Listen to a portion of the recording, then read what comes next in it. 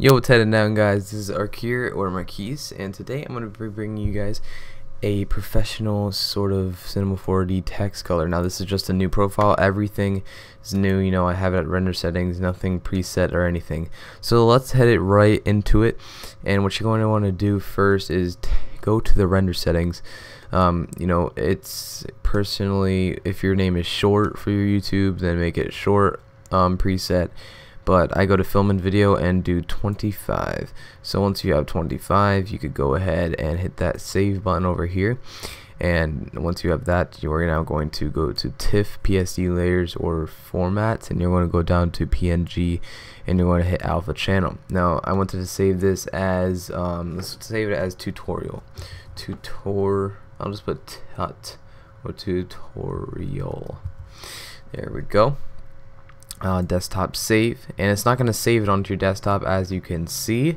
Nothing there and this is pretty much what we're going to be making today a good Lightroom text. So let's head right into it.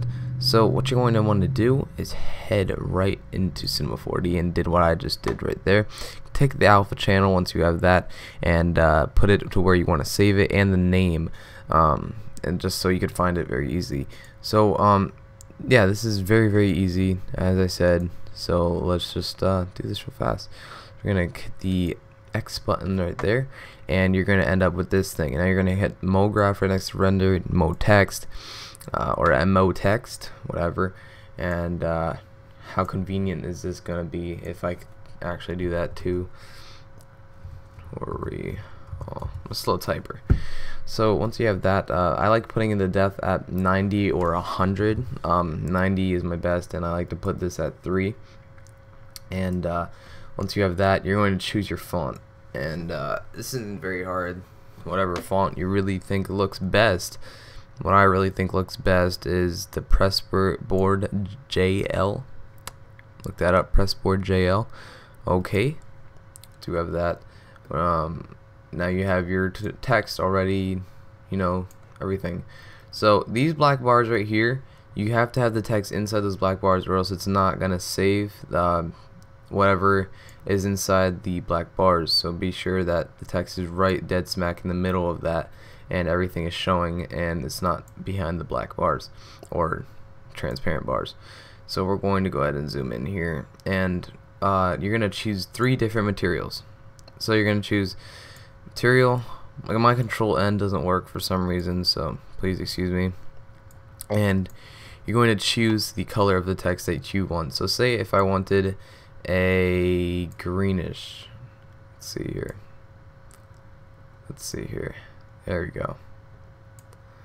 Say if I wanted a greenish not a yellowish a greenish. There we go say if I wanted neon green and you got neon green. So then once you have the uh, text or just do the MAT text color you're going to go to the next um, material. And what you're going to do turn off color and turn off specular. Now uh, I forgot to do something and this is very very key to what you're going to have to do to make it look good. So be sure you have this and turn off everything. Basically that's all you have to do. So let's go back over here. I don't like specular on so let's turn off specular and we have to actually turn on reflection. And don't change any colors up there. Just put the brightness to 75 and there you go. So once you have that you're gonna go to the other one other material MAT2 and once you have that you're going to now um, you're going to now put it to luminance. And you're going to turn off the color and turn off the specular. Now this is very awesome too. And it is very key. So let's go ahead and uh, drag these over here. So you're not going to use the white one yet, MAT2. You're going to grab the green text and you're going to put it right there. And once you render that thing out, it's not going to look as good, you know. So what you're going to do is click on that MOT text or whatever MO text and go to caps. Now you're going to go to cap for the start and end and you're going to put fillet cap. So then you put fillet cap for this one also and there you go. So then once you have that, now you're going to drag these, um, the black one and the black one again. And uh, this is very key. So what you're going to do is basically go to selection for, you just click on the black ones, any one really. And I'm going to do R1 for the first one and R2 for the second one. Now wait until you see how much of a difference it's going to make. Look at that. So now you have this pretty cool thing over here. So once you have that, um, what you're going to do is since you have a reflection there and you want to make it look good, of course you are going to now go to objects and you're going to primitive. You're going to go to a plane or you could just hit this. Mine doesn't work for some reason. It just doesn't. I don't know why. But um, anyways, what you're going to do is uh, right click that and what you're going to do is go to scale and you're going to move it around here. To make it a little bit bigger. There we go. Um, let's make that a little bit out, sort of like this. And let's look at that view from above. That looks pretty nice. And make sure, let's just bring this down a little bit, because, uh, oh, I'm scaling it still, but let's just make it big. Um, let's zoom out here, and let's go ahead and move that over here. There we go. Okay, so once you have that, uh, make sure it's um, a bit below this, and make sure the height, um, you know, you know what I'm talking about. So the height is basically under the floor, and you're going to go ahead and right click on that yet again. Going to hit to move as you did before. Going to bring that down a little bit more. So look at your TV screen or your screen, whatever, and whatever calculate the length. I guess I don't know. um, doesn't really have to be that perfect. So what you're gonna do is click on this. Be sure you have that clicked, and you're gonna hit copy, and you're gonna hit edit paste. And once you have that pasted, now you have another plane, and you're gonna put it up again, but you're going to put it a little bit higher than last time. Yeah, I know, and pretty freaky. And you're going to now what you're going to do now is I'm sorry for the coughing and stuff is you are going to make it bigger by expanding it. Wow it's a big surprise right? Expand it like that. There you go. So once you have that now what you're gonna do is do edit copy and paste. And once you have another one you're going to go ahead and right click that and you're gonna hit rotate. And you're going to rotate it more of like a 35 degree angle something like that. Or you could do it a little bit lower and what you could do then since you have it like that as a bit of a shine to it. And to add that shine since it does not have a shine as you can see doesn't have a shine yet but what you're going to do is you're going to go ahead and go to MAT2 and you're going to drag it into the plane. Going to drag it into the plane you're going to drag it into the plane there you go so once you have that, then you have this. Now it's not completely done. Remember that. Um, I'm to drag this in front, and then we have to drag this in back. Hold on a second. takes a little bit to do this, I know. So to make it have that shine, there you go. Um, we're not finished yet though. See how it has that nice shine? Yeah, you know, you know like it. And uh, let's go to move here.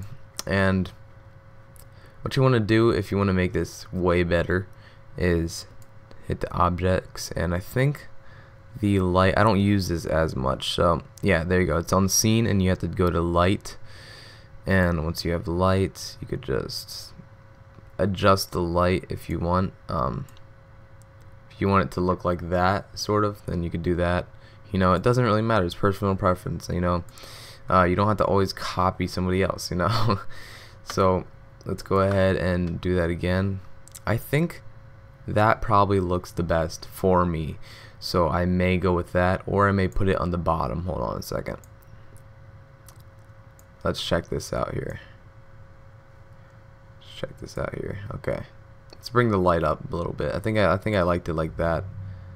And we're going to bring it back here. And yeah I think that looks the best. So let me adjust this color here because I don't like that color. Went ahead and put it light blue here. Like a light blue. Light blue is awesome. It's gonna look like that. It's pretty sick right guys? So um, if you want to save it make sure it's not in the highlighted bars as I said before. And you're gonna put it dead in the middle. And what I do is I line up here I'll use my mouse. I line up the middle with the 50 mark right here and then what I do is move the text over from the middle. Then I'll grab this. Move wait. I'll take that and then I'll move this over to the middle. There you go. You have your text which looks pretty sick. Now um that's all you have to do so if you want to make a really cool one then all you have to do like a background or something. This is just for you know if you want to make a watermark or something don't keep on watching. If you're done and you want to do this then just go ahead. But I'm gonna go ahead and head on to the uh, the desktop background picture tutorial. So what you want to do is you want to go to objects primitive and you're gonna go go ahead to actually not primitive my bad you're going to go to scene and you're going to do a floor. Once you have that floor now what you're going to do is go up. Oh that thing's in the way. So what you're gonna do with the floor is go ahead and scale it and you're gonna make it really big. Very very wide like that. And once you have that you're going to go ahead and move it. Okay there we go. There. So once you have the floor down and you know you have your floor down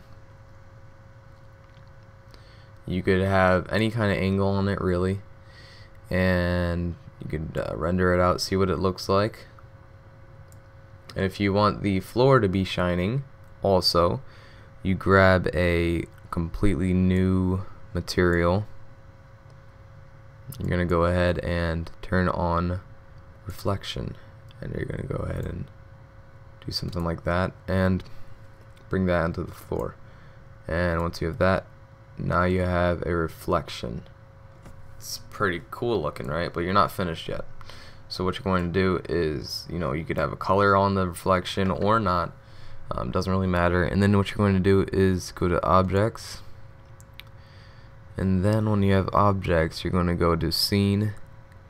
Oh, Wait not scene. Yeah scene. You're going to go to sky. And whatever color you want the sky to be then you have that color. So I want the sky to be a new material that is blue. And it's gonna be light blue. So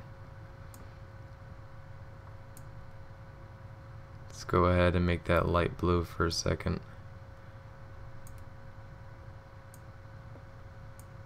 there we go. So once we have the light blue effect actually what we're gonna do yeah we could just have it as that. We're going to go to the sky and we're going to go ahead and do that. So it looks something like that.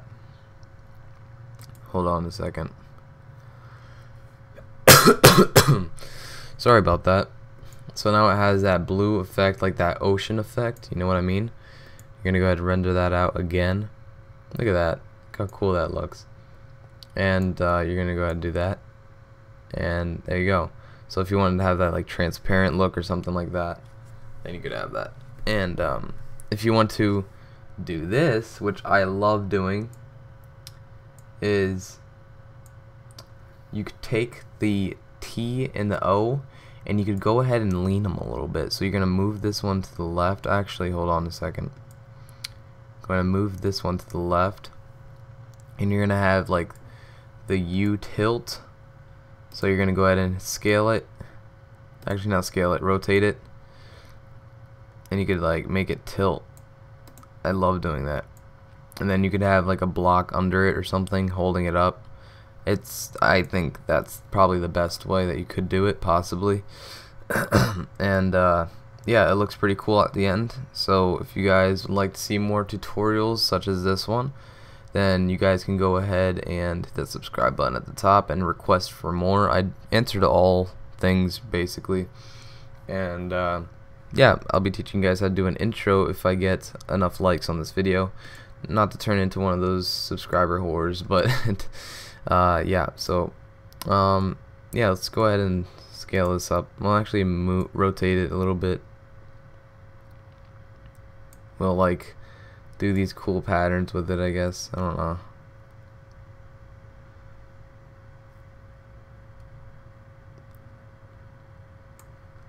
Then we could take the R. We could go ahead and